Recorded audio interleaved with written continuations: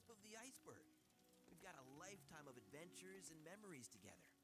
Um, I think your shoes are smoldering.